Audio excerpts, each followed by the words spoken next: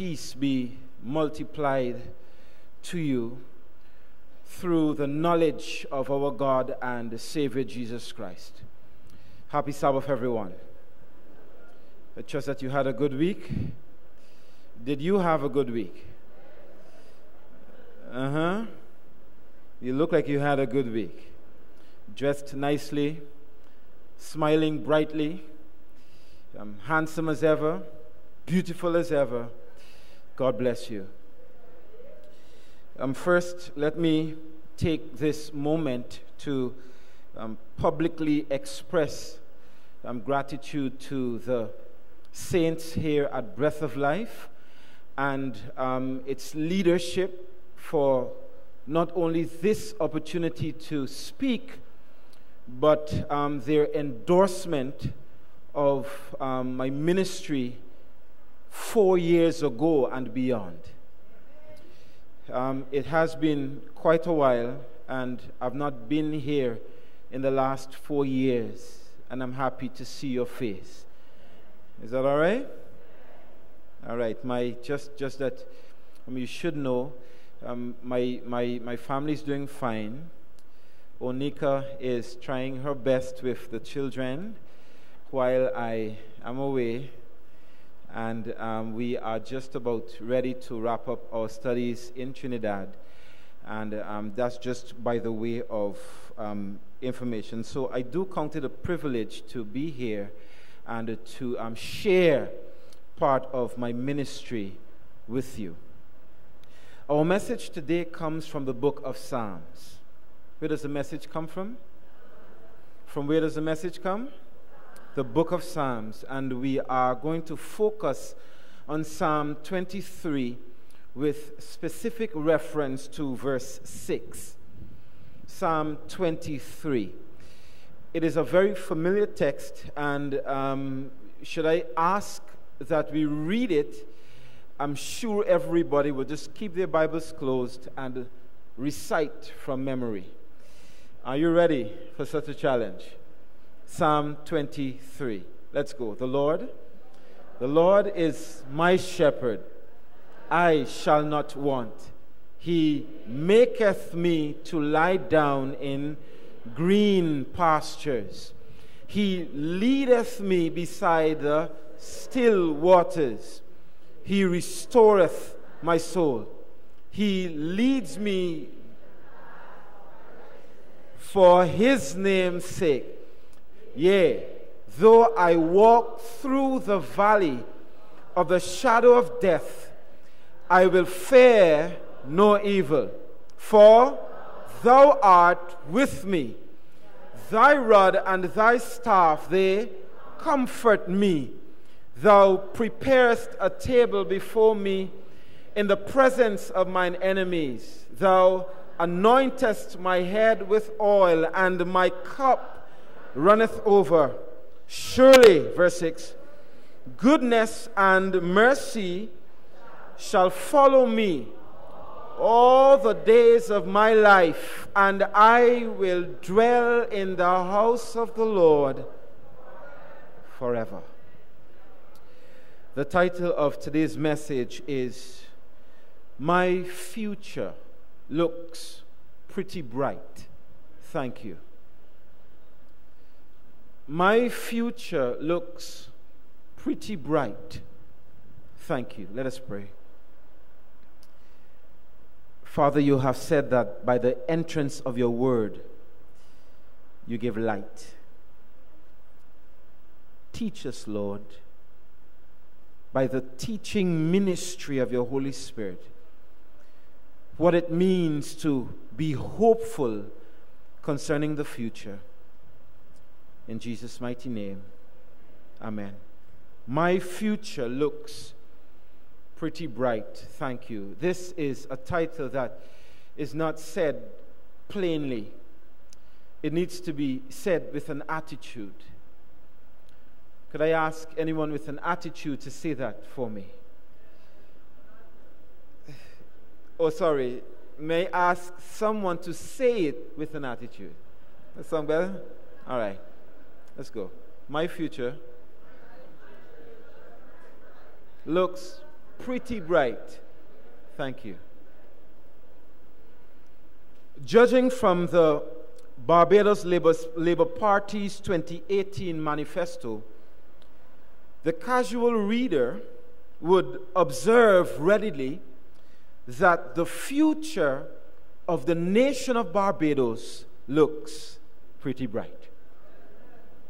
With a supporting cast of 29, 29 members of parliament, Prime Minister Mia Amor Mottley affirms, and I quote, Team BLP 2018 and I are determined to deliver new opportunities, lasting prosperity, and a bright future for all Barbadians. End of quote. Additionally, to demonstrate her seriousness about her pledge on her return from um, talks with the IMF last week, she said this, and I quote I want Barbadians to relax. We got this. I want barbarians to relax. We got this. I do not in any way mean any sarcasm.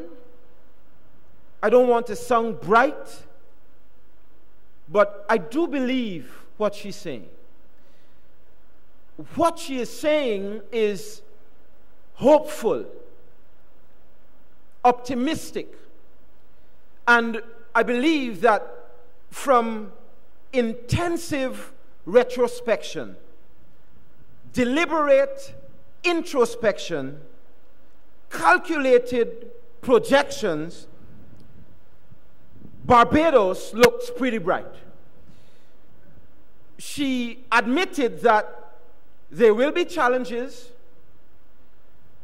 sacrifices will have to be made, hurdles will have to be crossed, obstacles will have to be out, overcome, but she gives an assurance to the people under her guidance and leadership that the future looks pretty bright. This idea does not only come from the lips of a leader. This idea comes from the lips of a psalmist. Psalm 23 is affectionately referred to as the shepherd's psalm, the nightingale psalm, the pearl of the psalms. The song is composed of two stanzas, each of which employs a different metaphor describing the relationship between the author and his Lord. Stanza 1 is made up of four verses captured in the pastoral lands of Palestine, where the young once shepherd condescends and assumes a position of a weak, defenseless, and sheepishly foolish creature. The image of his Lord as a shepherd here means more to him than an impersonal rock or shield. The Lord, he says, is my shepherd. My shepherd. I know that God is the shepherd of his people Israel. I know he is the shepherd of breath of life. But he must come to a place where he declares that the Lord is my shepherd. Stanza 2 is comprised of verses 5 and 6, reminiscent of the palace experience of a king, which the Psalter, in which the Psalter is a favored guest, and his Lord a lavishly gracious host. Here, the king attends to him personally and is not described in terms of a distant king or a distant deliverer, but a very personal, a close king. He says that uh, um, uh, um, he anoints my head with oil. My cup runs over when I'm in the presence of the king. I am lavishly treated. That's what he's saying. So, David, it is, it is uncertain as to the time that David composed this hymn. But internal and external evidence seem to suggest that it was written when David was aged. I want you to just follow me as I go through a, a quote from um, Maclaren. He writes, There is a fullness of experience about it, it being the 23rd Psalm, and a tone of subdued, quiet confidence which speaks of a heart mellowed by years and of a faith made sober by many trials. He continues, A young man would not write so calmly, and a life which was just opening would not, could not afford material for such a record of God's guardianship in all changing circumstances. David ends the song of six, six lines, six verses, two stanzas. He ends by saying, Surely goodness and mercy will follow me. He remembers green valleys, gentle streams, dark glens, stormy years of warfare and rebellion and crime and sorrow. He remembers the years gone by and he projects his thoughts to the years to come. And he is saying that in those years to come, goodness and mercy will follow me. He declared that his future appeared pretty bright to him. Today, someone who may be perplexed about the future, asking questions that pertain to the future and finding no answer. Would this hurt ever leave my heart? Will the bank repossess my house and land? How much longer do I have to rent? What is the future of this relationship? Do we even have a future? These questions may be asked. The concerns are genuine. But the psalmist points us to a time gone by and points us to a time to come. Do you mind if we spend some time looking back? I'll take three of the images that he used and look back with him. I'll start with the one concerning restoring the soul. Then I'm going to move to quiet waters. And then I'm going to move to green pastures. Look back with me for a minute. When the psalmist says, He restores my soul, he is speaking of a time when his soul was actually broken. Not just hurt by the words of someone, not just mistreated by a son, but hurt deep within that he had hurt the heart of God. His soul was broken and his soul needed to be mended. He restored my soul and he saw himself as a shepherd going with his sheep. The sheep have a way of straying. Sheep have a way of, stay with me, church. Sheep have a way of straying sheep need to be found. We would remember the parable of Jesus. Which one of you having a hundred sheep and you happen to lose one of those sheep, would you not secure the 90 and the 9 and go after the one which was lost? And when the shepherd goes after the sheep, he brings the sheep back. The sheep leaves again. The shepherd goes after the sheep, brings it back. There comes a time when the shepherd has to do something drastic in order to keep the sheep where he should be. It may appear to be cruel to some, but the shepherd in those times broke the legs of the sheep. Cruel as it may appear, it has an intention. Look back with me for a minute. When the leg is broken, the shepherd has to bandage that leg and fetch that sheep around. Time after time, by carrying that sheep, the sheep gets to know the heart of the shepherd. He looks into the eyes of the shepherd.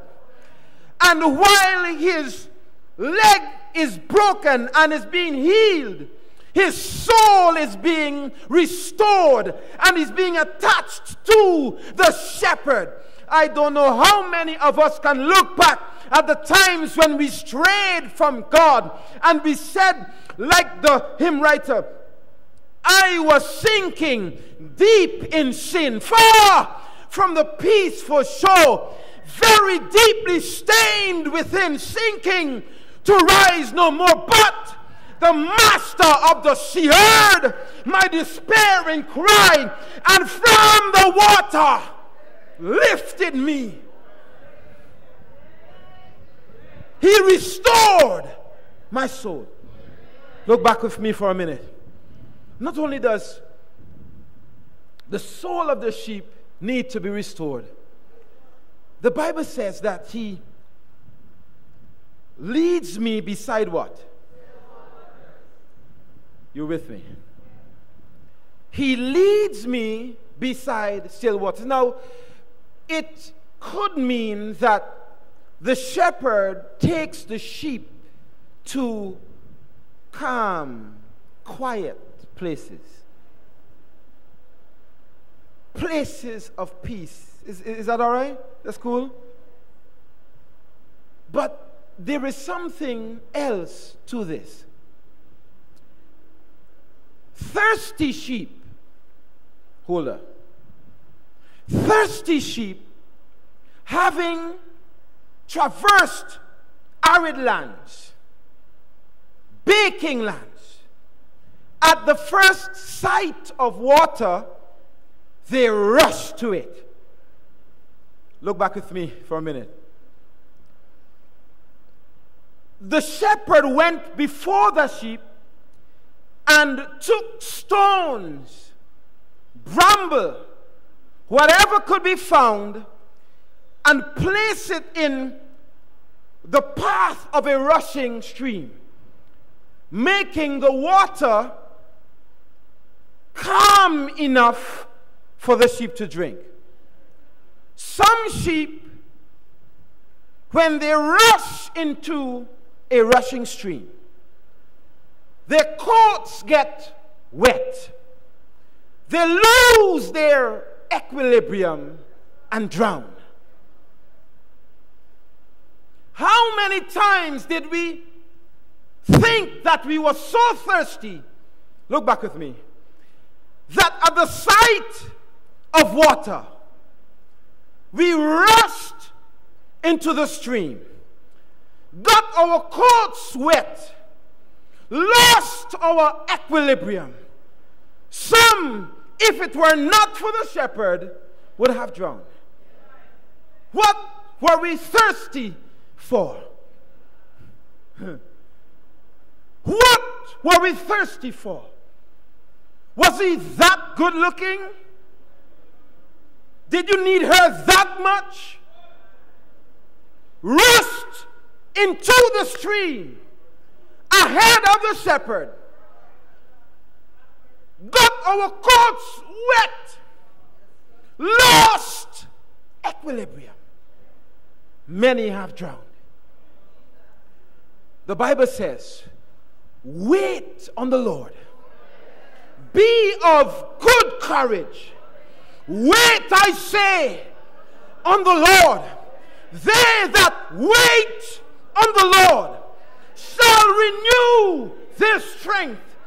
They shall mount up with wings as eagles. They shall run and not be weary. They shall walk and not faint. Teach me, Lord, the song says. Teach me, Lord, how to wait. Running ahead of the shepherd did not turn out to right. But then, not only does the shepherd restore the soul of a sheep, but the shepherd leads the sheep to waters where it can drink and not drown. But then the shepherd leads the sheep to what? I said it before green pastures. Green pastures. How many of us are enjoying green pastures?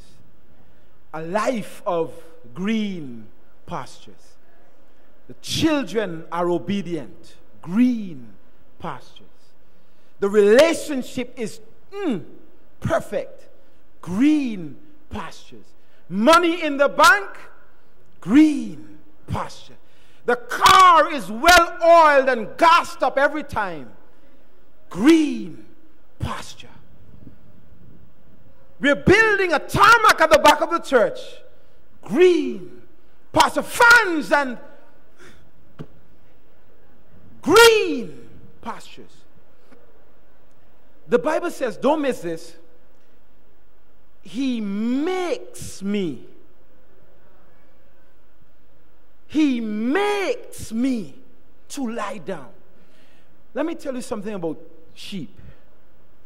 You see, when, when they are fine, they're resting, and they're in the green pasture, you know what they, they normally do? Pardon me? Play, frolic, play, frolic, have a good time. But the shepherd knows that the journey ahead is long. You would need something to take with you ahead. We're looking back, we're looking back. When the sheep are laying down, everybody expects that a sheep should be eating in green pastures. But in this case, the sheep needs to rest. And while he is resting, he is what? Something is happening with the mouth. Pardon me? Chewing the cud, meaning regurgitating, meaning that is redigesting. When the sheep is quiet and in a good place, the sheep needs to value that time. Rocky days are ahead. Vipers are ahead. Wolves are ahead. When there is a time when the pastures are green, lay yourself down bring up stuff that you chewed on some time ago and reprocess it. Because as you transition into the future, you need that time of rest. When the food comes up and it is chewed, it goes through a different process. Now, now, bear in mind that at this time of peace, have you ever been in a home? Well, you are a part of a home, but you've ever been in a home where when all the arguing stops and the fighting subsides and all these things, and, and there's a calm, you could actually talk about things? All right, let me make it a little bit clearer. When we are not fighting, I can say to you, I feel hurt when I feel even lonely when you bring your cell phone to bed and you choose to look at something else, and I'm right there. And in that time when things are okay, you could say to me, you know what? You're right, you know. This is what I don't like, really. I feel hurt when you drink the water from the fridge and you don't fill back the bottle.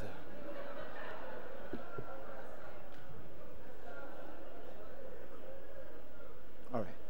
All right, let, let, let's get off of that. Children, children, listen. I would love for you to clean up your room. You know why? We're talking about time of peace, you know. The room is clean, all the toys are put away, the children are comfortable under the net. We're about to tell some bedtime stories, and you say, Listen, you know what?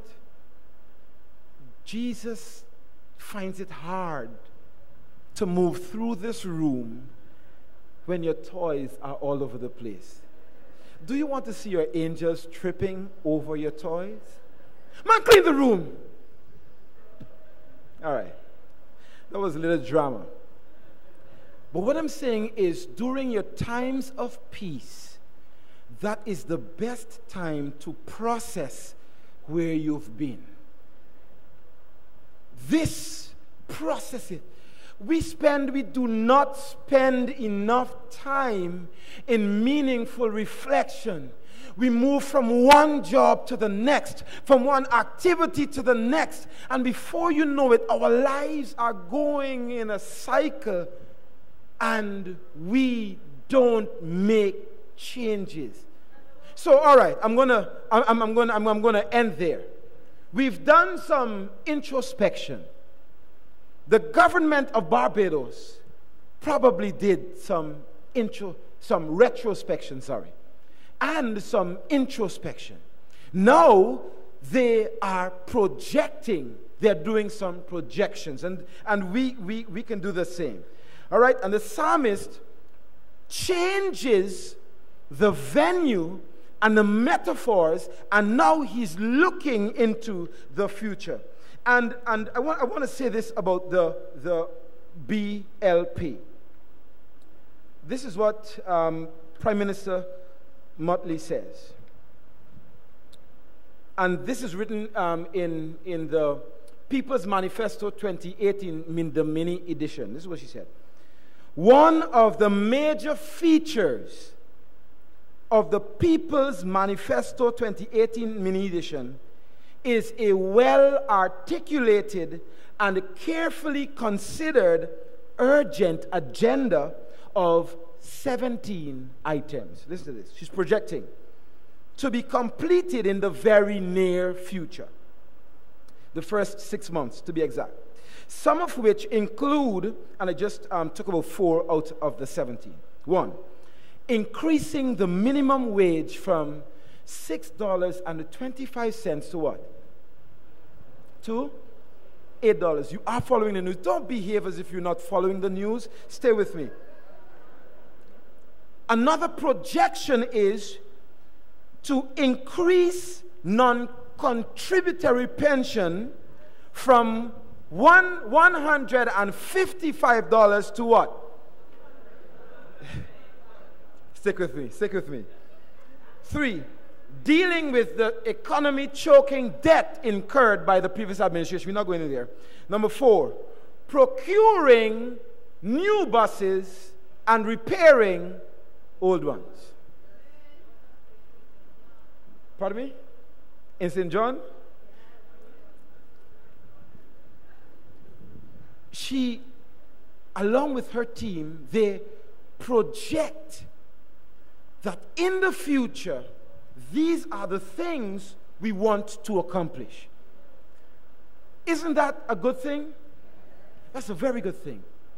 If the BLP could do that, then the psalmist has something to say concerning the future. I'll tell you what we will do. Psalm 23 and verse 6 caught my attention because not only did the, did the scene shift from pastoral lands where the shepherd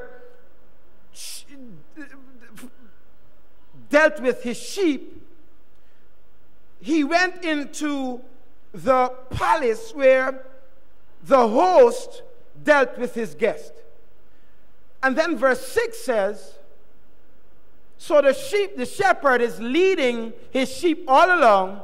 Now he says that goodness and mercy shall what? Follow.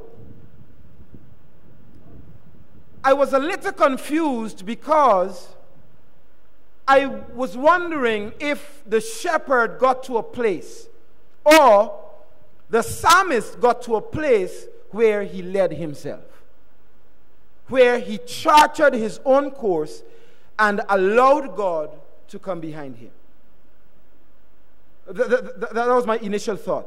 Did the shepherd feel so confident about the future? Did the shepherd rely on projections that he thought to himself, he'll be fine? Goodness and mercy, we got that. Was that the case? So when I investigated, I found out a few things. Goodness, as a matter of fact, surely speaks of a certain degree of what? Certainty. And it is used, it is used as um, an adverbial phrase which says this adverbial particle expressing a very strong positive assertion of truth. Surely says that he is convicted, convinced, absolutely, undoubtedly sure that this is going to happen. First thing. Secondly, goodness and mercy are not persons. Shepherd, sheep, guests, host. Those are persons. But here he's saying goodness and mercy, which are used attributively, make the point. They are used and this is what I found out. Attributive adjectives are adjectives that describe a characteristic or attribute of the noun or pronoun that it or they modify. Not only do attributes, we, we cannot say that attributes will follow the, the, the, the psalmist, we are actually saying, or what he is saying, that these attributes belong to someone. Follow me. These attributes belong to whom? The shepherd or the host, the Father, God. He is convinced that God will Follow him. What does follow mean? S- somebody talk to me. What does follow mean? Pardon me? Pardon me? Do you expect me to hear everybody the same? All right, somebody, one person. What does follow mean? Somebody's walking behind. So in this case, is, is David leading and God following behind? Walking behind? Is both leading and following. All right, all right, all right.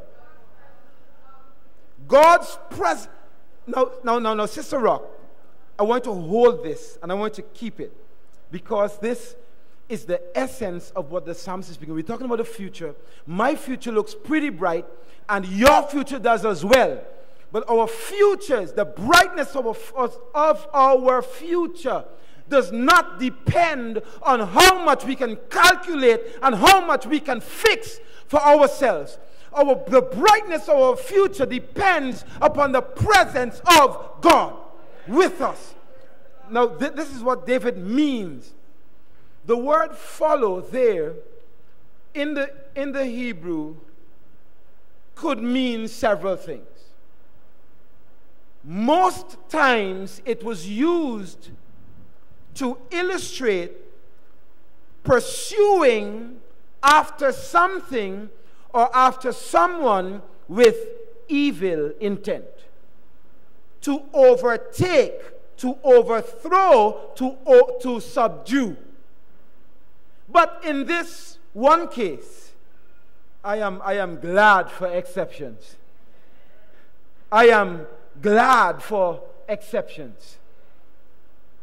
When everybody else is being favored, God chooses an exception in me.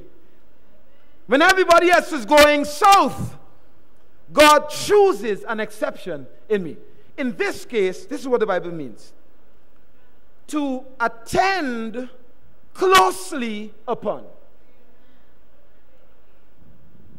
Follows here means to attend closely upon. God is going to be an attendant. Why do I need this?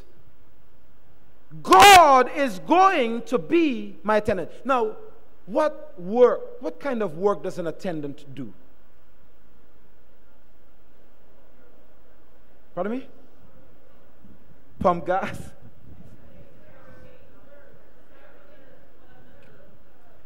And he serves anything that the maybe customer needs the attendant is there to supply. Anything that the sheep needs, singular sheep needs, God, being the attendant, is there to supply. As a matter of fact, the Bible says, My God shall supply all of my needs according to God is going to attend. When I get sick, I'm not saying that I will not get sick. When I get sick, at my bedside, God will be there to attend sweating, he'll wipe the sweat away. I may be crying now, but he said, Weeping may last tonight, but there's coming a morning. My joy comes in the morning because God is attending unto me. I know that I'll have needs. My relationship is on the rocks. Wife wants to walk out. Husband wants to leave. God is saying that if your mother and your father and your brother and your children and your spouse, if they walk out on you, God will be right there. He says, I will never leave you, nor will I forsake you. God is right there. When I need help, He is my very present help in times of trouble. I am sure about my future. I don't know what to expect in the future. I don't know what troubles will come. I don't need to know. All I know, looking back in my life, that the shepherd had gone with me, gone before me, and now I'm sure he will attend unto me. Today, somebody needs to know the shepherd has not left your side. You thought he was gone. The valley was dark. But the shepherd is right there. As a matter of fact, he is so closely attached to me that the shepherd thought of as being distant left heaven, came to earth, God among men. Now he is touched with the very feelings of my infirmities. God has granted me healing because He's right there. When I get hurt, He will heal me. When I get hungry, He will feed me. When I am sick, He would doctor me. When I'm naked, He would clothe me. When I am friendless, as in terms of friends leave, He will be a friend that sticketh closer than a brother. I want to just say amen and leave. But today, I'm going to make an appeal and then I'm going to be specific about the call that I'm going to make. The appeal is no one or anything has the final say concerning your future. Say that again. Diabetes does not have the final say in my future. No person, my boss, does not have the final say concerning my future. My wife does not have the final, because if she had the final say and she left, I would fall on my face and die. But I'm glad that she does not have the final say. I do not have the final say in her life. Our children don't have the final say in our lives. No pastor, elder, deacon has the final say in my life. What does that mean? You can curse me all you want. You don't have the final say. Not even death has the final say. For though this flesh may perish, one day with my eyes like Job, I'll see God. I tell you of a mystery. We shall all not sleep.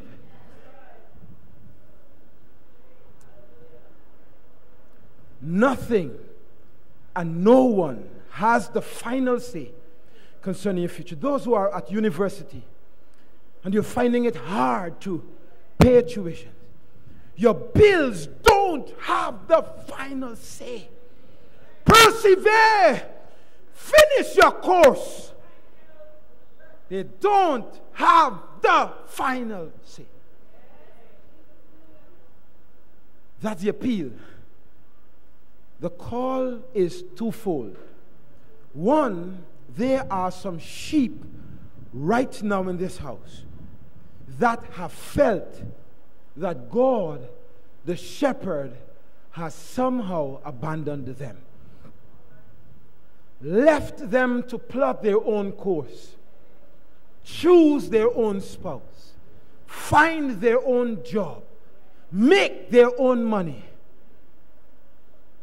If you are one of those sheep, you may think that God has abandoned you. The shepherd has never left. He is right there. If you have felt that the sheep, that the shepherd has left you, there is hope for you today. That is the call for one set of sheep. The other sheep may have stepped out in some territory and got themselves lost. Crying for help, and no one answers. Bawling in the middle of the night. It appears as though no one cares. Some sheep have walked away from the shepherd. The shepherd is looking for you. The shepherd is calling you. Come, Nigel. Come, Cheryl. Come. Come. You're lost and you, you're calling, Lord. Where are you? And He's answering you. He's going to find you. And when He finds you and He takes you back to the fold, you are guaranteed some rejoicing, some celebration.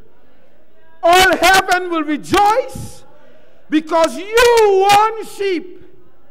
You heard the, the shepherd calling and you answered. And lastly, there is the other group where you, you, you don't even know who the shepherd is. You're not a part of any fold, running your own life the way you seem fit.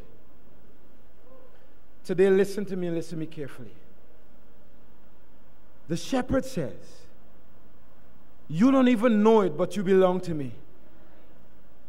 And when you hear my voice, you will know it. You will know that I'm calling you. He says, My sheep know my voice. He's going to take you and bring you into his fold. Now, I know that the fold is not always the sweetest place. The fold has people, other sheep rather, that would hurt you. I know. But the fold is still a safe place. Because where the shepherd is going, his fold will go also. So the first group of believers who just know the Lord is your shepherd and you just need some assurance that your future is going to be all right, I ask you to stand to your feet. You know that Jesus is your shepherd. You've answered his call a long time ago. He's calling you, reminding you that he's there with you, and you just need that assurance. You're going through a rough time right now, but you need to know that the shepherd is there with you. You're standing to your feet. Close your eyes with me. while you close your eyes, the second group needs to know that Jesus is calling you back to the fold. You walked away from this fold. You know in your heart you walked away. He's calling you back. And while the first group of sheep stand being reassured of the presence of the shepherd, the other group of sheep can raise your hands where you are. The other group. You have walked away from the shepherd, walked away from the fold, plotted your own course, but the shepherd is calling you back. If you are one of those sheep, raise your hands. Raise your hands where you are. You're coming back. I see your hand. I see your hand. You want to come back to the shepherd. The songwriter says, I've wandered far away from God. Now I'm coming home. You want to take a bolder step. Your hand was raised. I saw your hand. Take a bolder step and walk to the front. Step out of your pew while everybody's eyes are closed. Make a concerted effort to come back to the shepherd. Come to the front. Come to the front. The shepherd is calling you. Come to the front. You've strayed, you heard his voice, and you're coming back. Come to the front.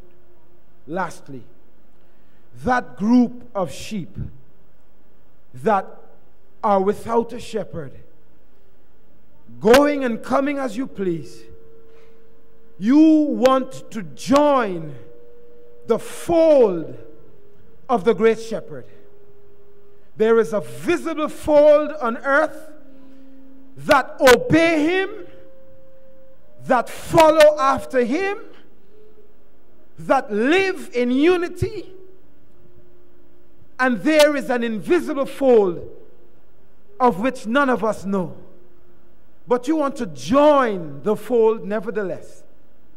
Come straight to the front. You are not a part of the fold of God. And you want to be a part of the fold of God. Come to the front. When you come, you are saying, I want to become a part of your fold. Softly and tenderly, the shepherd is calling. Come. The shepherd is calling. Come.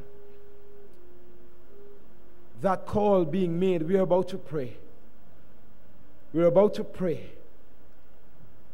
And the call is still extended, even while we pray, to any sheep who has not come to the shepherd to come now. The call is made. Our Father and our great God, we can see that organizations are planning and making projections for the future. A typical example is the Barbados Labour Party, making plans for a brighter future for nationals, for non nationals, for children for senior citizens in a very profound way. You have demonstrated through your word that you know the plans you have for us. Plans to prosper us, not only financially and health wise, but even spiritually. Dear God, your plans for us are greater than the plans for any country. For the place to which we go is a country that is built without the hands of men. We are glad, O oh God, that you are preparing a fold for such a country. And even as we look to a bright future ahead, help us to realize, O oh God, that nothing and no one can determine the outcome of our lives. You have already plotted our course, and you've promised to attend unto us closely. Your goodness will provide for our needs. And when we slip and fall, your mercy will pick us up. Surely we believe goodness and mercy will follow us all the days of our lives. So, Lord, we dedicate ourselves to you again. Every sheep bowed here before you, every sheep claims the blessing of Almighty God, the blessing of your very presence. That regardless of how hard this life gets, you are a very present help, even in times of trouble. This is our guarantee. This is our plea. We ask this that you remain with us in no other name but the name of Jesus, the good and great shepherd. Amen.